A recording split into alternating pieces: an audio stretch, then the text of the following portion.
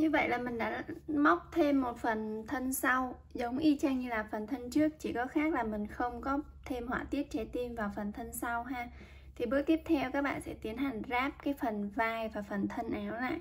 Thì cách ráp, ở bên này mình đã ráp được một cái vai rồi này các bạn. Đây.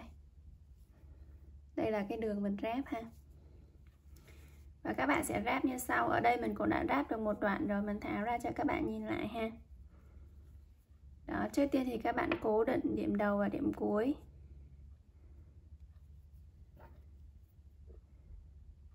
Đó, các bạn cố định điểm đầu và điểm cuối ha. Sau đó các bạn sẽ đâm vào từng cái đường này. Đây, những cái đường GG ở đây này. Các bạn đâm vào và các bạn móc mũi rời cho mình nha.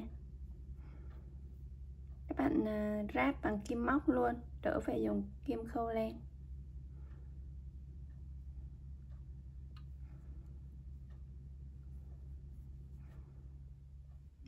bên này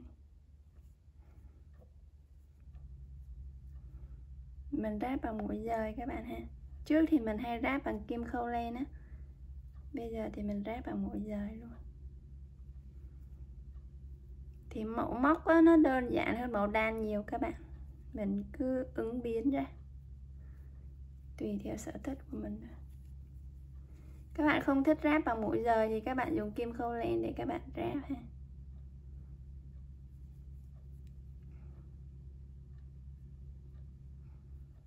đó các bạn đâm qua cái đường G của cái mũi móc.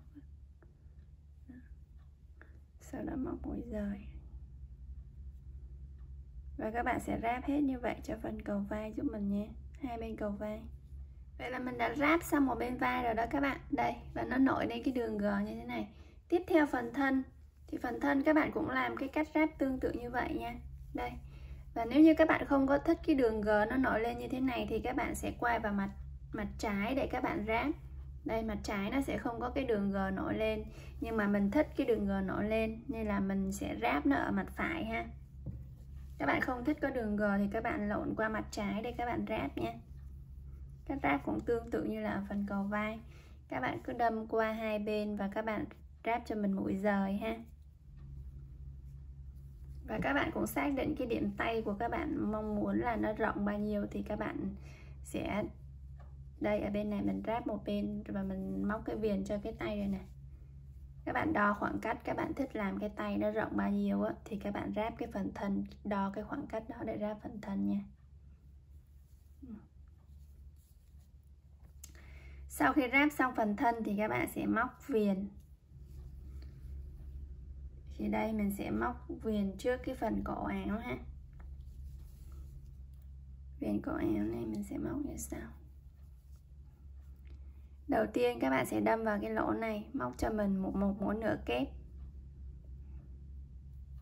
Sau đó móc một mũi móc kép.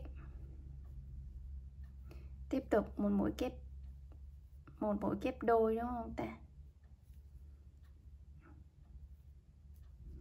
Rồi, sau đó đâm vào đây. Móc thêm một mũi kép đôi nữa. Rồi, đâm sang cái lỗ kế tiếp móc cho mình một mũi kép đôi.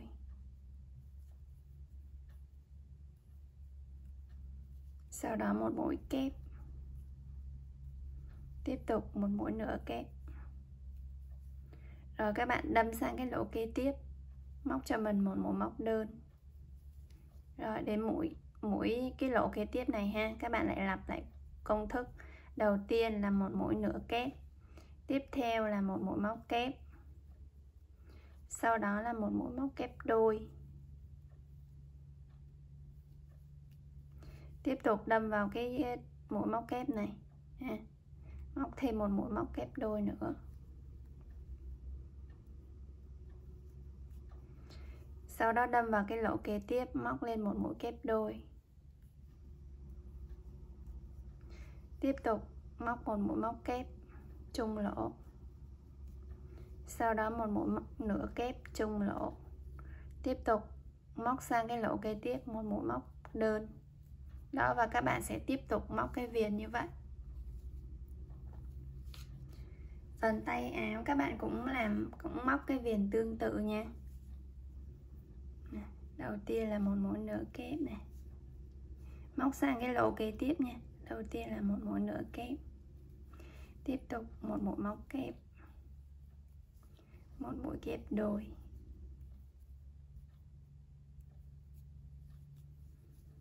Đâm vào cái lỗ này. Một, móc một mũi kép đôi. Sang cái lỗ kế tiếp, móc một mũi kép đôi. Một mũi móc kép chung lỗ. Một mũi nửa kép chung lỗ. Rồi, sang cái lỗ kế tiếp, móc một mũi móc đơn đó. Đó là cái công thức móc viền cho cái ờ, móc viền cho cái phần ờ, g ở cổ ha, và cũng là công thức móc viền cho cái tay áo luôn nha. Còn đến cái phần phía trước này, phía trước cổ áo này thì các bạn sẽ móc hơi khác một chút, tại vì các bạn mà móc giống như cái đường g này thì cái cổ áo nó sẽ bị bay ra. Đây, cái phần cổ áo phía này các bạn sẽ móc như sau. Các bạn lại đâm vào cái lỗ này ha móc một mũi nửa kép này. Tiếp tục, móc một mũi móc kép chung chân. Sau đó các bạn sang cái lỗ kế tiếp, móc 3 mũi móc kép đôi chung chung lỗ. Phần cổ áo phía trước nó hơi khác chút thôi ha. Ba mũi móc kép đôi chung lỗ nha. Một rồi. Hai ba rồi sang cái lỗ kế tiếp. Móc một mũi móc kép. Tiếp tục thêm một mũi nửa kép chung lỗ. Rồi sang lỗ kế tiếp, móc một mũi móc kép đơn. Đó. Cái phần sò ở phía trước của cổ áo á, nó hơi khác một chút nha. Để mình móc như vậy để cho nó ôm cái phần cổ lại. Nếu như vẫn theo công thức của phần tay áo và phần ờ, rìa ở chỗ cổ này thì cổ áo bị bay á các bạn. Mình làm lại ha. Đầu tiên là một mũi nửa kép này. Tiếp tục một mũi móc kép chung lỗ. Sang cái lỗ kế tiếp, móc 3 mũi móc kép đôi.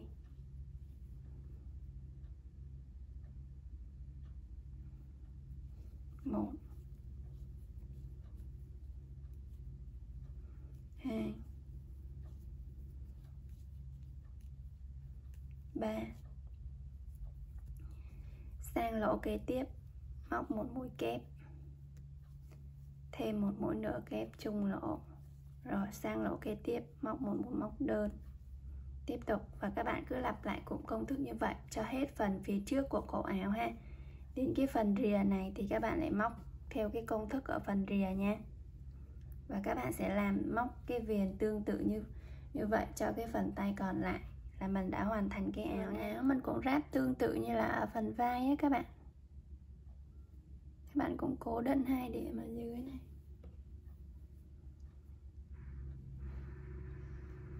Mình sẽ ráp bằng mũi giờ nha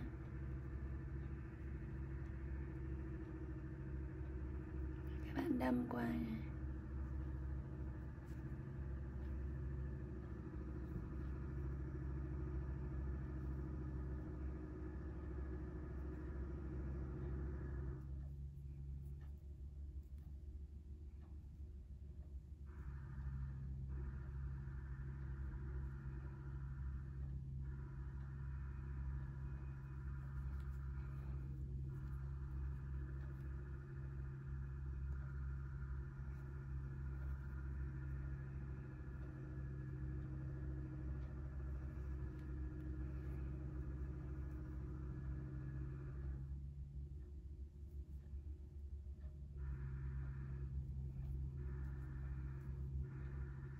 Các bạn ráp hết phần sườn ha.